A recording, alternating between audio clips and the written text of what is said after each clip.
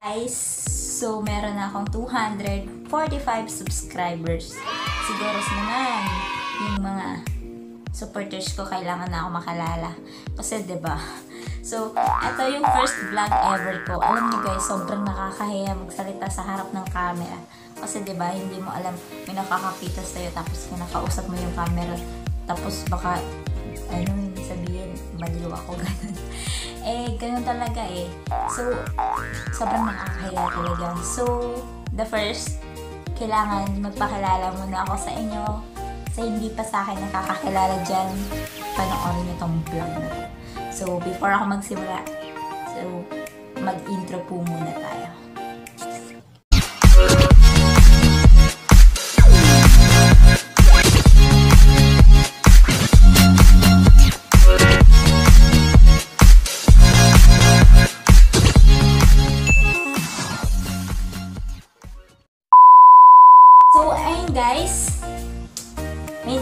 Jeneline Rablando.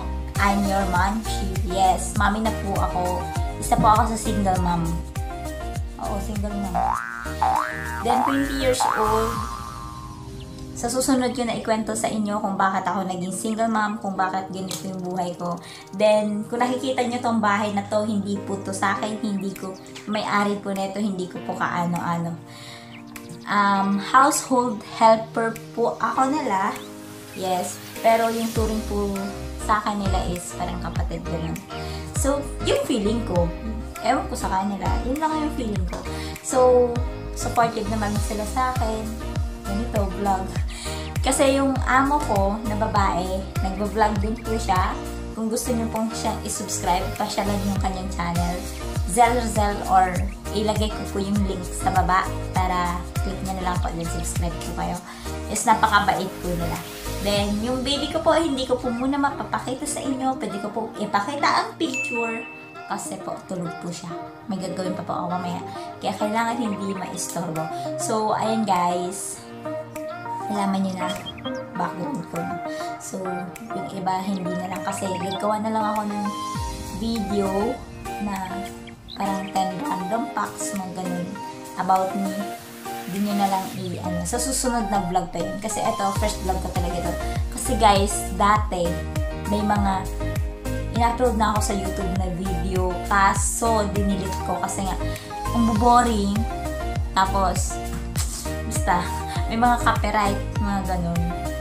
Kaya, iniwasan ko talaga yung copyright na yun. Um, ayun guys, siguro ngayon kasi October 25, Friday.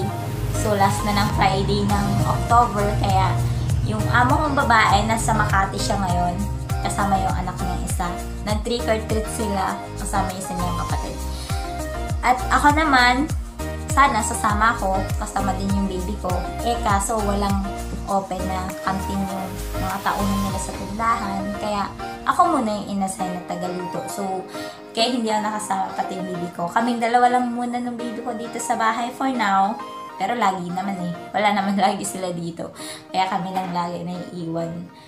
So, um, ano pa ba?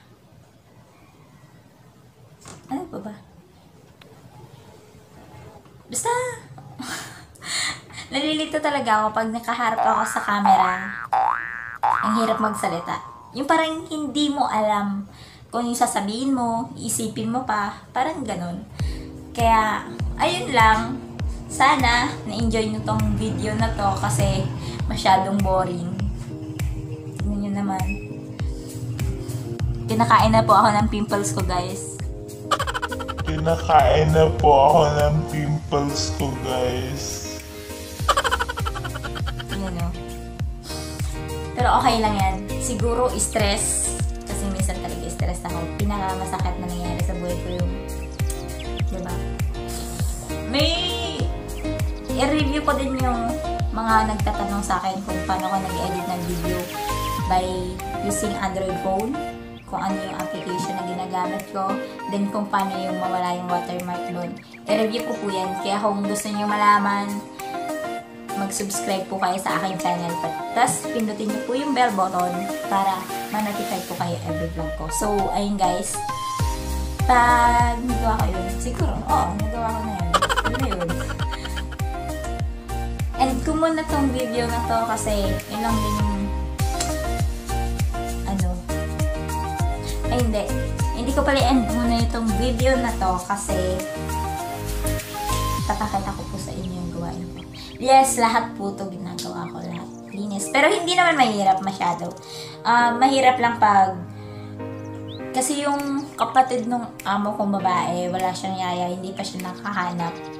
So, ayun. Pag minsan dito sa akin yung bata, kaya minsan talaga na hindi ko nagagawa yung lahat ng gawaing bahay. Tapos, sobrang bait talaga nila sir kasi sila sir hindi ko makain dito. Hindi na rin ako pagluto. Niluluto ko lang yung pagkain si ma'am. Tapos yung anak niya. Then, sa gabi din, pag nagtatanong ako kung ano yung papaluto nila, may minsan nasasabihin nila sa akin, may pagkain kami dito. So, ayun, hindi, hindi ka na magluto. Parang ganun. Kaya sobrang bait. Eh, di ba, bawas gawain na rin yun. Kaya pabor talaga ako dyan, guys. Mga ganyang galawan nila, sir, ma'am. Pabor na pabor ako dyan. Yung hindi ka napapalutuin na ganun. Kasi, alam mo na, hilig. Kaya sabi nga ni sir sa akin, in case na mag-improve ako on YouTube, ako yung babayad ng wifi nila. Kasi, guys, nakikigamit lang po talaga ako ng wifi. Kawawa naman kasi si sir. ba?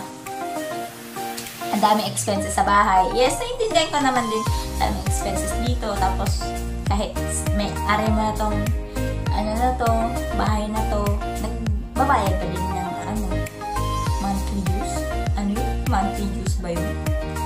Ko alam kung ano tawag. Parang dues kasi. Parang ganun. Um, so, ayun lang guys. Kasi, gagawin na po ako at magluluto pa ako ng pagkain ng tao. Pagkain ng tauhan nila sir. Wala So, ayun lang guys. Sa susunod, mapapakita ko na sa inyo yung baby ko. Siguro nakikita niyo naman sa intro, diba? Kaya, ayun lang. So,